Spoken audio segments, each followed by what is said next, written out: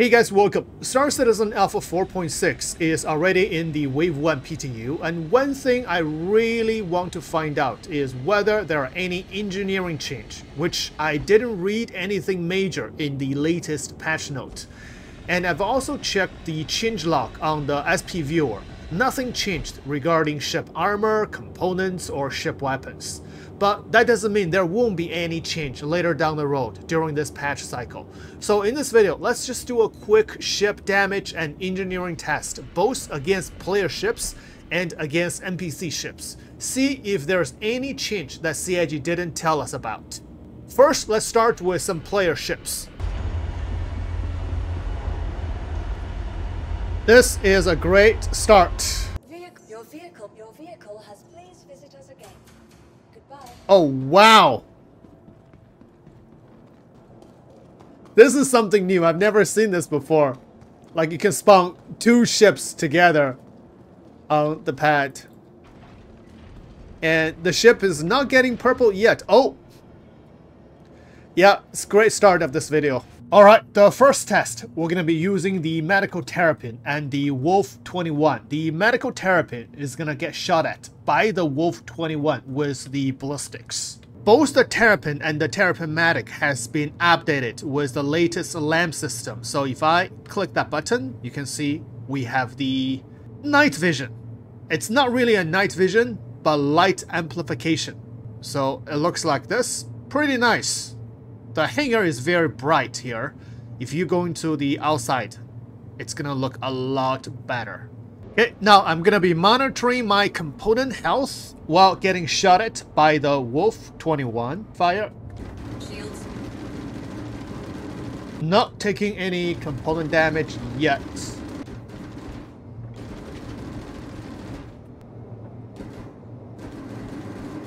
Armor is gone.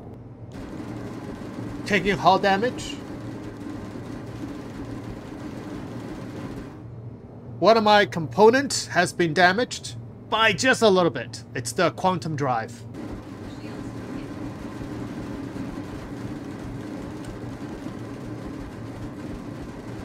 And certain parts... Oh! Something happened. Power plant failure. Okay, let's go do some repair.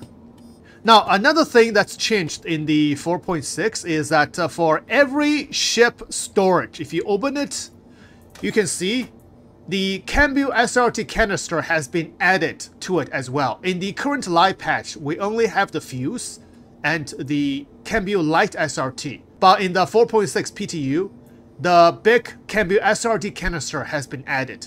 This is going to be very convenient, but I don't have that, so I'm gonna use the small Cambio SRT.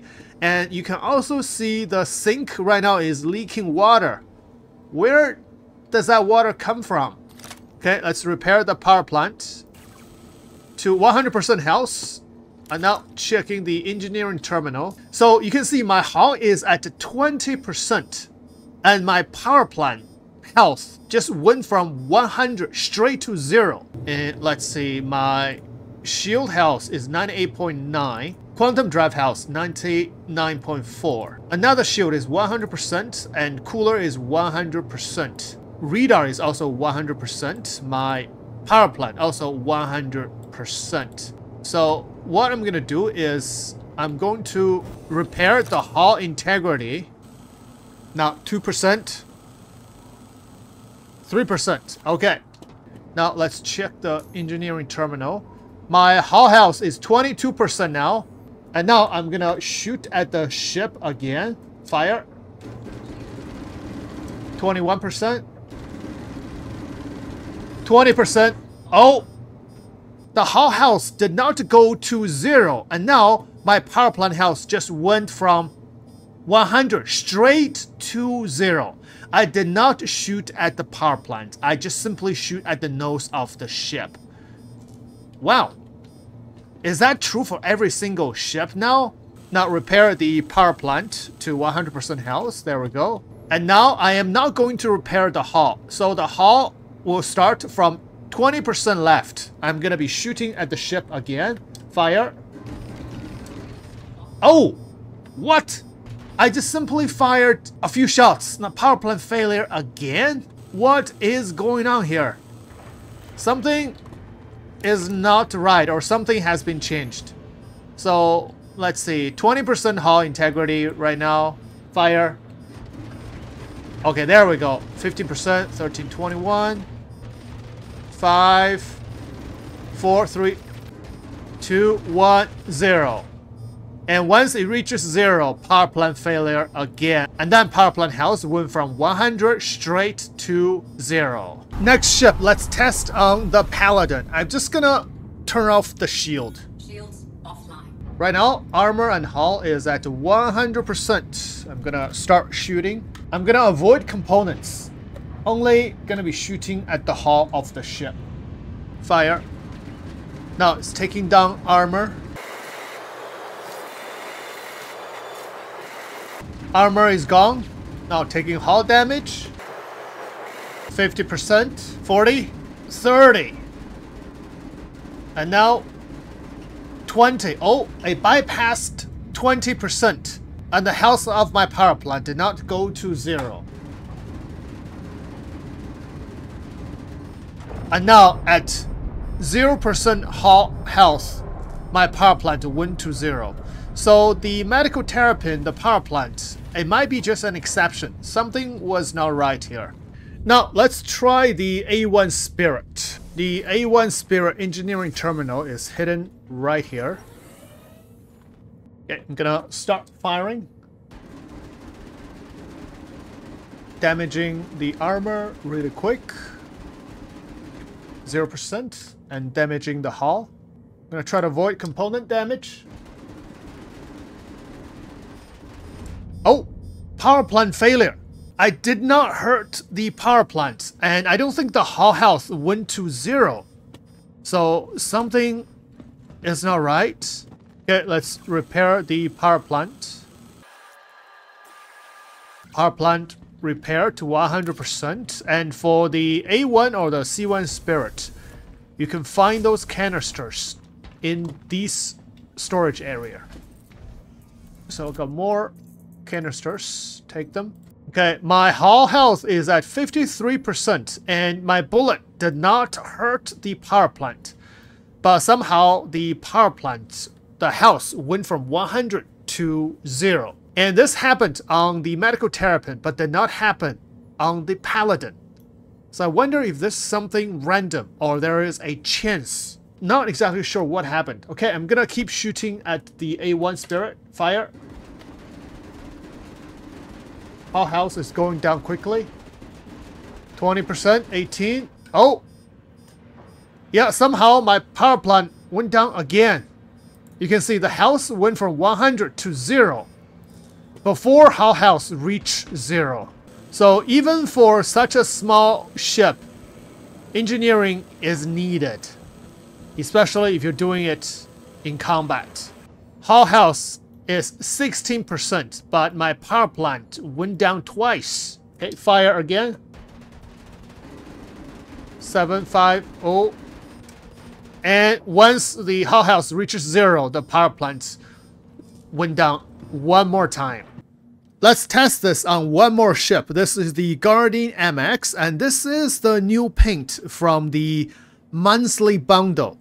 CIG has changed the name from patch bundle to monthly bundle. So are we expecting the Warbound bundles every single month? And this is that paint. Take a quick look.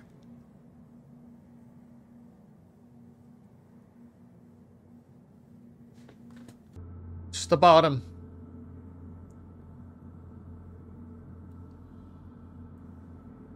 The engine and to the top. Pretty nice. Alright, let's continue with our test. Now, armor is going down quickly. Wow, look at that. It's really quickly. And I am not taking any hull damage at all. I'm shooting at the right wing of the MX, but I'm not taking any hull damage. I'm gonna switching to... Oh! One of the wing has been completely destroyed, but How come I'm not taking any hull damage? That's not right.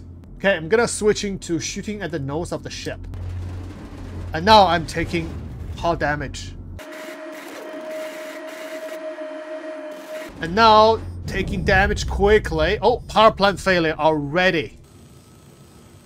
Okay, 100%. And okay, so the power plant got damaged is because my hull health went to zero for this ship. So I don't know if this is new in this patch or this is something in the 4.5 that we haven't discovered, or at least I haven't discovered.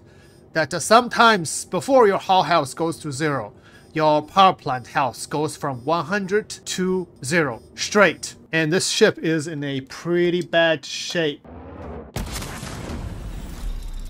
And now let's test this against some of the NPC ships because there is some changes when you do combat with NPC ships in the 4.6 PTU. I am flying a Hornet F7A Mark II and this ship already have the lamp system. And now the changes that I noticed uh, for the NPC ships is that uh, the NPC ships do not explode that easily. So let's test on this freelancer. Shield is down. Now I'm doing hull damage to the ship. Wave clear. Here comes the next. And when it says wave clear, it means this ship is already considered dead. But it's not dead yet because it's not exploded. But you can see that the IR was dropping all the way to zero. Okay, let's finish all these ships first. Okay, you can see the IR of the Firebird is going down really quickly, which means the Firebird is considered soft-death. Now, attacking the Vanguard.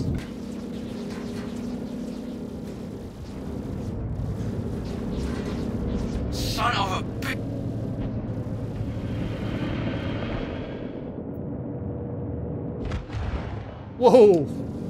That's scary. IR of the Vanguard is still 7.1k. When the IR is going down, which means the power plant is dead.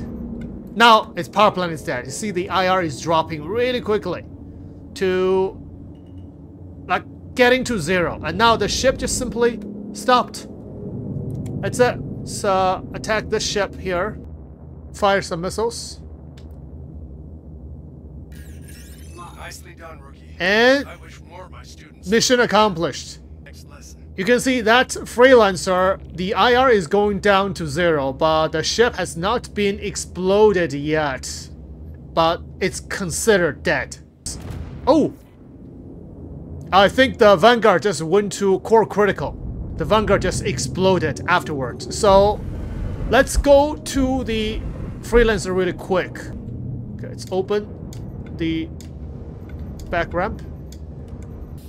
I really like this because this way you can easily loot the NPC ships. Hopefully the ship is not core critical. Oh, the pilot's already dead. Let's see. Oh, core critical. Now let's go repair the... I got 40 seconds.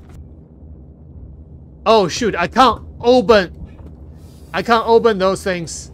If you want to loot it, you gotta have to be really quick to get on board, repair the power plant before it go explode. Does every NPC ship go core critical like this? And that that exploded. Alright, let's try different ships. So for this Pisces, it's still flying. And now you can see the IR dropped really quickly. The Pisces is now power plant dead. Now the question is, does every single NPC ship go core critical or not? So we'll see if this Pisces explodes.